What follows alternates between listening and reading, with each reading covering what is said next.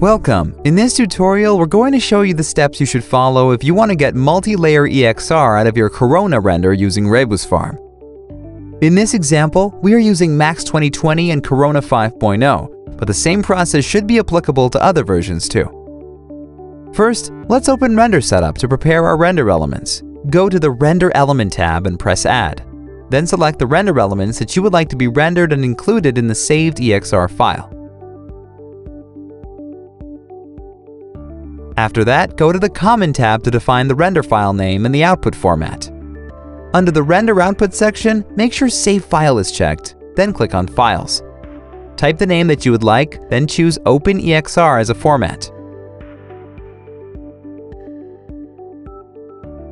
In one of our previous videos, we have discussed using CXR format, which can hold render elements too, but you will need to open the downloaded image using Corona Image Editor to check them and to do any adjustment before saving the multi-layer EXR, which might not be a desired or needed workflow. Let's go back to the regular OpenEXR. On the left side, you could click on Setup to open the EXR configuration. If you'd like to specify which element would be included in the EXR render, press Add and select the desired render elements. Or you could check automatically. Add and remove render elements from Render dialog to include all the previously added elements. Once you are done, press OK and save. Now we're ready to submit the job. From the Rebusfarm toolbar, press Render Now to open the Rebusfarm render setup. Please refer to our previous videos for more info about submitting using 3ds Max. In this case, I'll just make sure to activate Auto Start so the rendering process will automatically start as soon as the uploading is done. Then hit the Render Now button a new window will open for Rebusfarm messages to show all the relevant information, warnings, and errors your scene might have. As all is fine here, we can send it to Rebusfarm. Rebusfarm plugin will upload all the assets that are required for rendering. You can check the progress of the uploading and rendering by visiting the Control Center.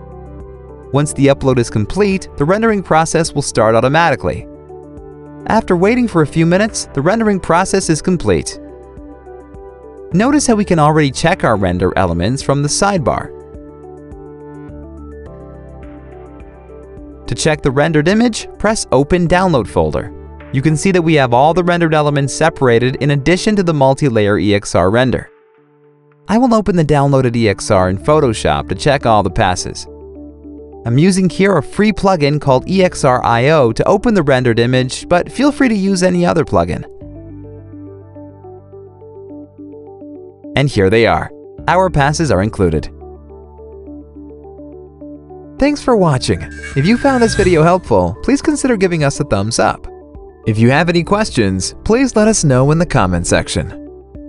Here are also some other videos that might interest you. To keep up to date with our channel, don't forget to subscribe.